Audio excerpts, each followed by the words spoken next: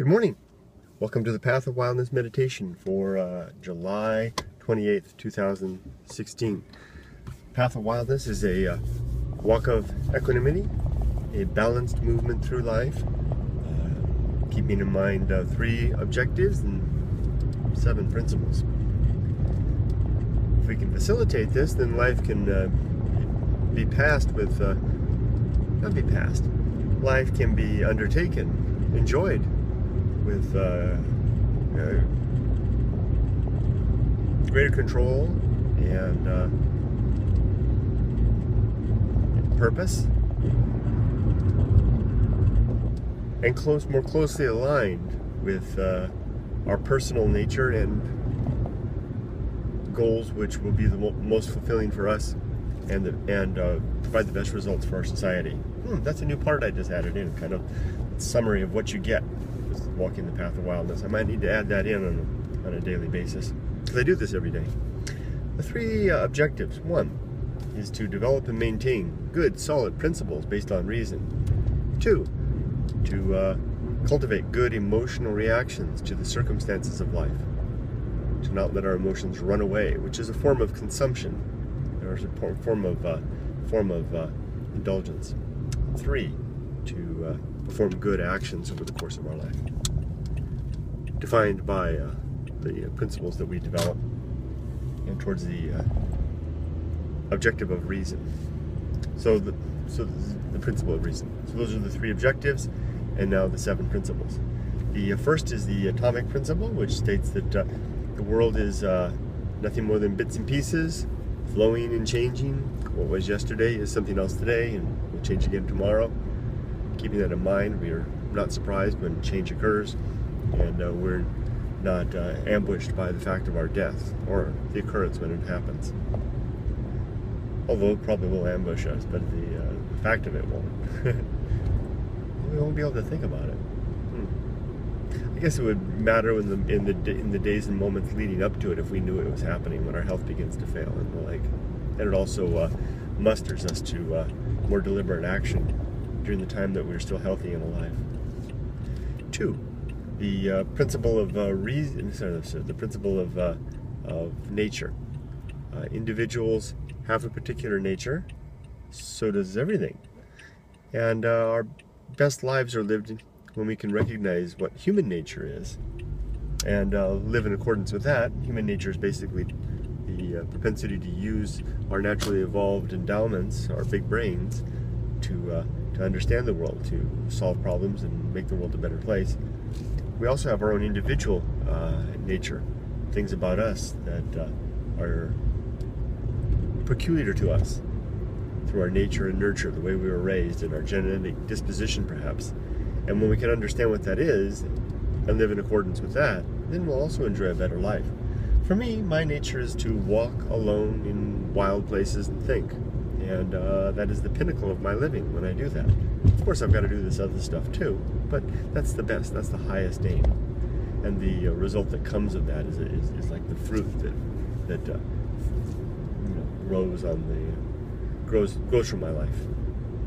Third is the, uh, I'm sorry, the third is the principle of uh, social, social principle. Humans are social animals, we need one another to live. Uh, we, our best ends are social ends. Uh, if we can uh, strive towards helping one another, then we're doing a good thing. Lots of virtue to be found in that. So, uh, social ends need to uh, be uh, um, need to be pursued while being mindful of human rights. So it's good to have a, a set of value, a set of a set of uh, a definition of what human rights are. And currently, I'm using the American Bill of Rights as my uh, definition, although I would like to explore that more and develop it more fully myself. Because if we uh, just pursue social ends, you know, the greatest good for the largest number of people, we find sometimes that we're in positions where we might compromise individual rights for that end.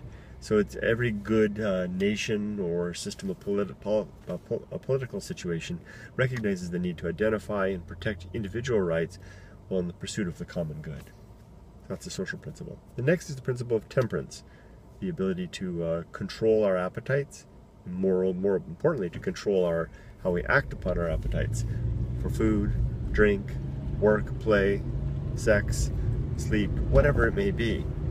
Indulging in these things uh, to excess is uh, um, is a short is a shortcut to excess. It's a shortcut to uh, to uh, giving giving in and letting our emotions lead us rather than leading our emotions, which is one, one of the goals of life, the path of wildness, is to, uh, to, to not necessarily control necessarily, but yeah, in a way to control not to control our emotions because that's hard to do, but control our reactions to our emotions. So when I feel that need to, to drink another beer, more one more beer than I know I need to, I should you know, to be able to control how I respond to that. I'll still feel like I want it, but you know what I mean, or to, uh, to, to, overeat or too much exercise or work or whatever the case may be. So temperance is is the exercise of uh, self-control um, uh, against the uh, the, the uh, passions, which is kind of what it is. You have this pre-passion, this immediate rise of wanting, and what you do with that, if you execute upon that, if you run away with it, then that's the passion.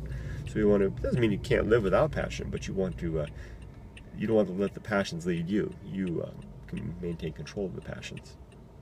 The next is the principle, and that's that's uh, temperance, very valuable uh, asset and uh, virtue. The next is the uh, principle of uh, indifference, the world, great indifference, as I call it. Basically, that states that the universe doesn't really care about us. We're on our own for the most part. Um, we've got all we've got is one another, maybe our pets there's no uh, God. There's no evidence. There's no good evidence of any God or deity or beings of any sort that really care about us.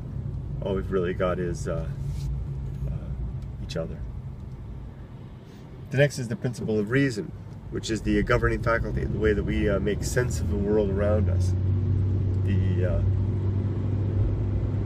it's a process by which we observe the facts of the world, we collect facts, things that are, are true, assemble those into uh, premises about the world, which form arguments that lead to conclusions.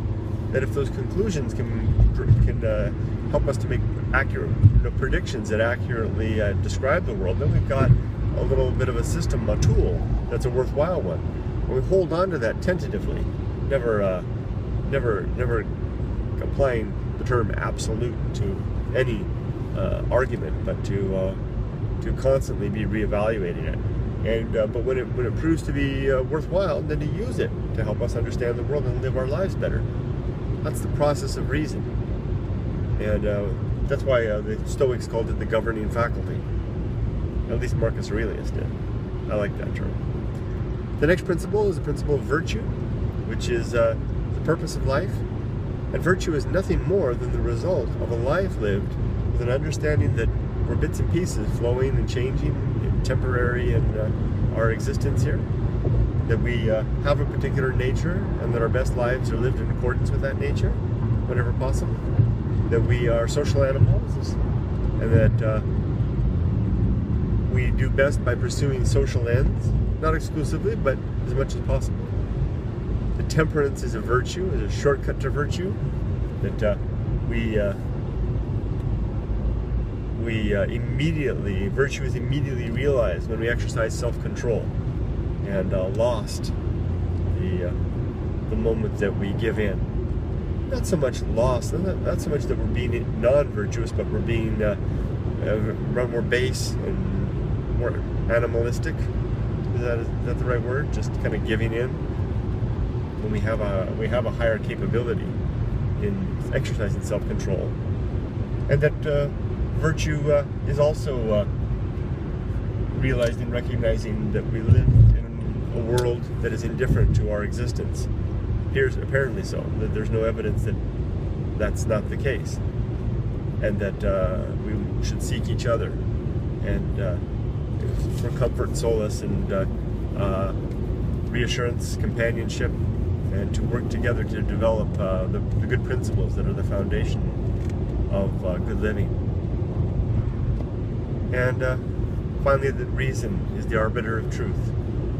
That uh, when, in, when in doubt, look to the, when, when someone offers you a conclusion that seems questionable, simply uh, ask after their, their reason. Ask them to explain the reasoning behind it. What facts are they using to develop that conclusion? What premises? What uh, what are the building blocks of the argument of the argument that they want to put together?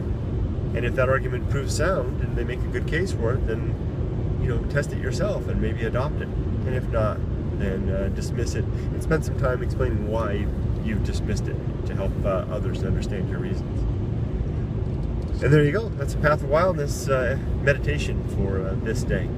Thank you for joining me. Have a great day.